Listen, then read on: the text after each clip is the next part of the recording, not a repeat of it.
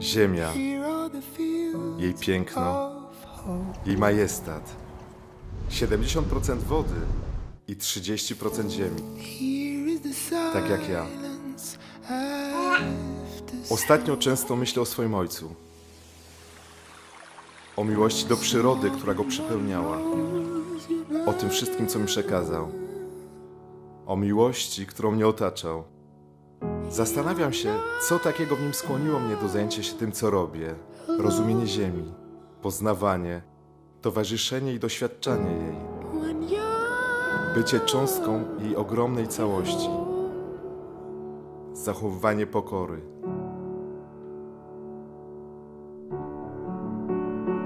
Nasze umiejętności są pokłosiem tego dziedzictwa. Badanie materiałów, pobieranie, analizowanie, diagnozowanie i doradzanie.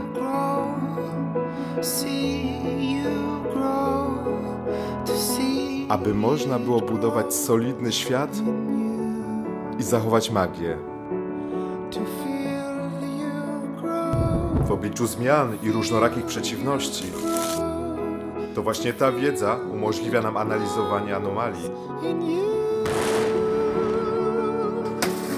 zarządzanie kryzysami. Bo kluczem jest uważność.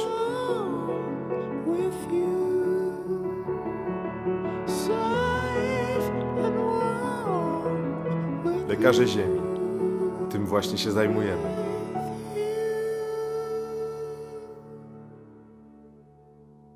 Ostatnio często myślę o swoim ojcu.